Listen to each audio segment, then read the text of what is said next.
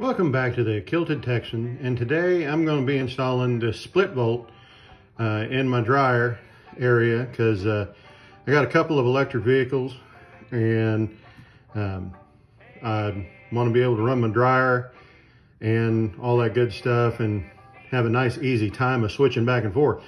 So what this does is this hooks up to your existing dryer port and it allows you to have both your dryer hooked up and your EV your EVSE uh, charging, your, your car chargers. Now I've got kind of a special deal going right now where I actually, for my EV, I have a NEMA 1450 plug, which is what this plug is. And I have two GM chargers, two GM factory chargers, the ones that, you know, plug into the wall, but they will run on 220 volt. So what I've got is I have a NEMA 1450 hooked up to a regular plug that runs 220 volts to the GM charger and I have two of them and they run at uh, 12 amps each so they'll run a max of 24 amps which is what this is listed as max of 24 amp. So this will hook to my dryer and when the dryer's running it'll turn this one off. And this one when the dryer's off this one will go ahead and charge my cars. So that way I don't have to keep plugging and unplugging and all that good stuff. So uh, I'm gonna go ahead and get this installed and let's see how she works.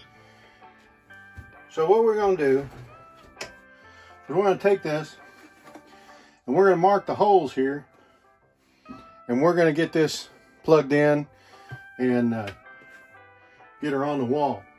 Now what I normally like to do is I like to take a piece of paper and I like to uh, mark the paper with the holes and then put it on the deal and then drill the holes through. And we want to match these drywall anchors. So we make sure that this sticks here pretty good. So uh, I'm going to grab a piece of paper and we're going to get this marked up. Um, either that, let's see, I think probably just get it marked nice and easy. This is a pretty heavy dude. But yeah, that's about where we're going to want it. Um, we're going to want to try to make sure that it's at least square to this and here so that it doesn't look all cattywampus. But uh, tell you what, we'll go get a sheet of paper to make sure that that looks all right. Okay, now that we got a sheet of paper, what we're going to do, we're going to turn her over and just to make sure that we're kind of lined up, and look at that. She is too wide for that. Son of a motherless goat. Well, I think we're going to have to be a little bit more creative here, guys. Huh. All right, I'm going to get another sheet of paper. We're going to tape them together. All right, so we took a piece of paper. We added it on here we got him pretty straight. So what we're going to do, we're to mark these holes.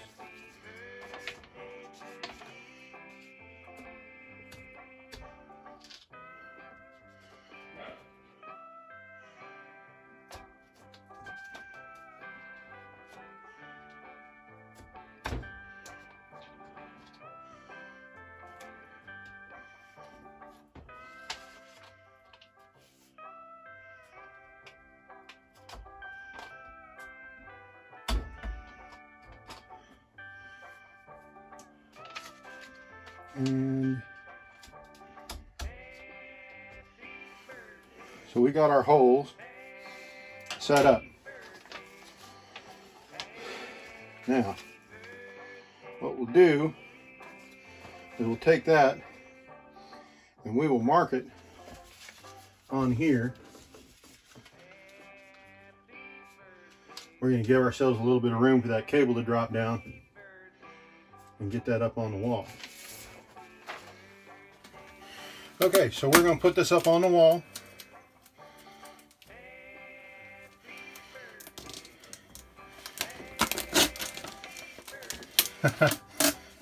and uh, watch it rip the paper, because that's always fun. Okay.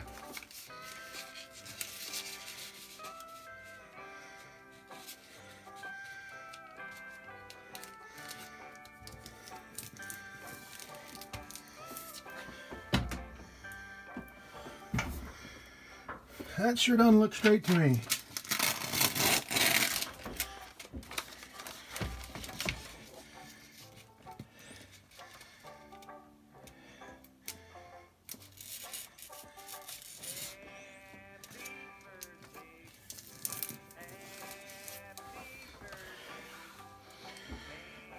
All right, so we're gonna go ahead and get my drill and we need to match up these concrete anchor or these concrete anchors, these uh, drywall anchors to a drill bit. We'll see where she fits. It's pretty close, but not quite there. We don't want to go too big. That'd probably be all right.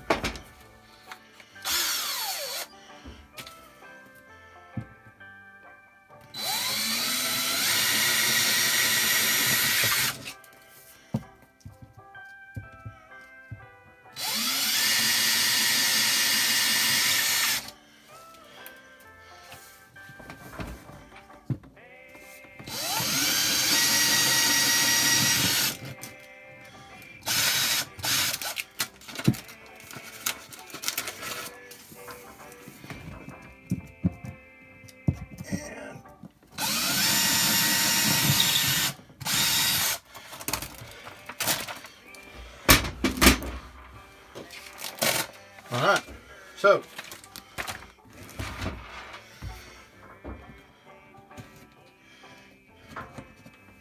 get these anchors in here.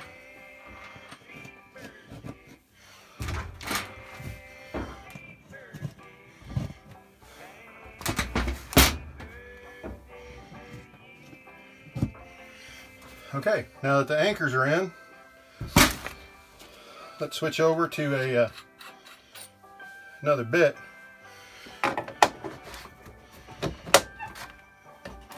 And switch over to a Phillips head and we'll see about getting this thing hung up here.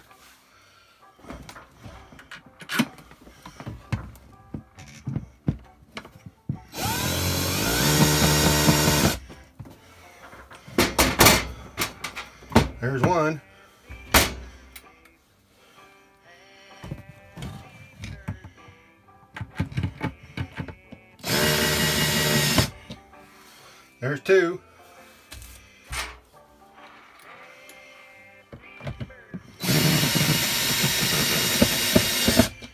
There's three.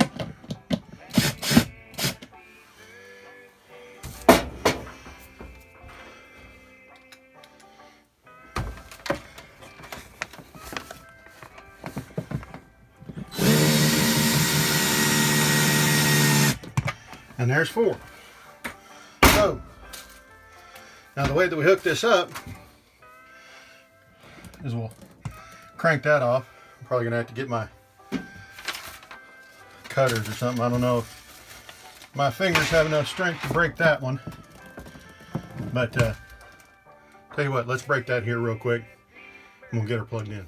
All right, so got this little plastic cover here. We'll pull that off.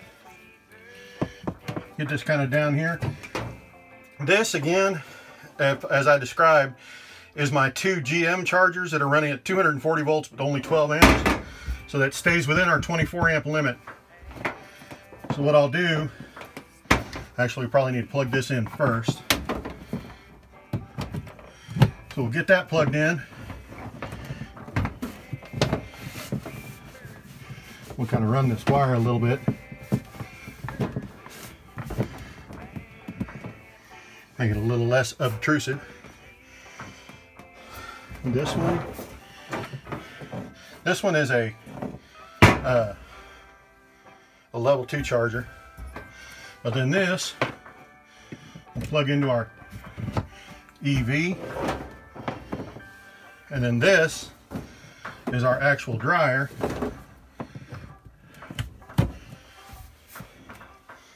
And let's see.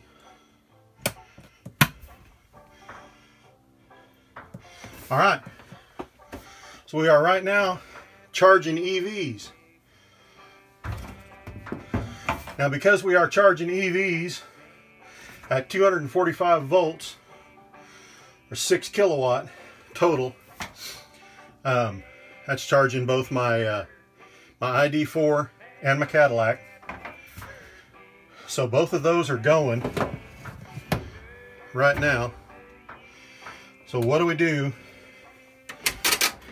if we do this? The EV shuts off and the dryer kicks in. So now it's no longer pushing to the EVs, it's pushing to the dryer. And that's what we want.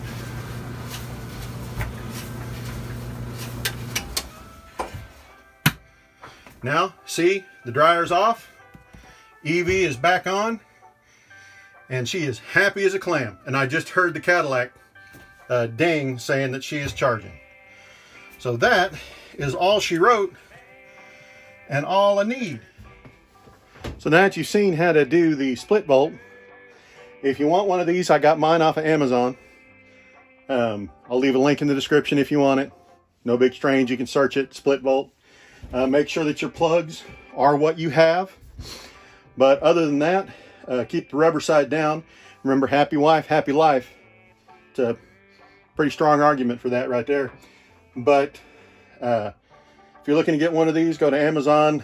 I think you can get them for other retailers too. Doesn't matter. Um, but uh, I will say that if you're looking for more of this kind of content, subscribe for more. And if you're going to crash, crash into that like button. And we'll see you on the next one.